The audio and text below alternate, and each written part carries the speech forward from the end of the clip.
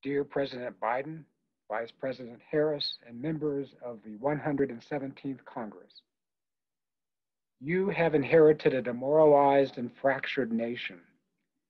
It is hard to see a way forward when so many citizens distrust each other, even resorting to violence. May the God of all nations bless you with wisdom, courage, and the desire for justice. This past year reminds me of the Israelites wandering in the wilderness, a place of testing, division, and conflict.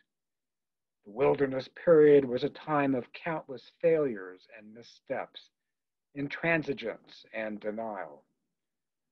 Worst of all was the Israelites' stubbornness and their desire to return to Egypt, the place of their enslavement, when faced with the physical challenges and difficult truths of the wilderness. America's pandemic wilderness offers its own set of painful truths. The knee of white supremacy continues to crush the lives of Black men and women. Under the thumb of human supremacy, the climate responds with devastating consequences. Ignorant, hate filled rhetoric can lead to violence to the point of dismantling our democracy.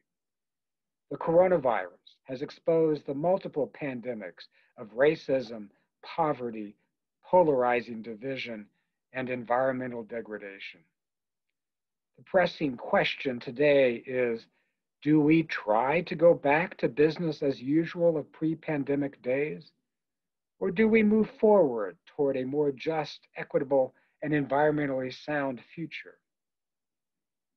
At the end of their 40 year plight in the wilderness, Moses implored the Israelites, saying, Remember that you were a slave in the land of Egypt.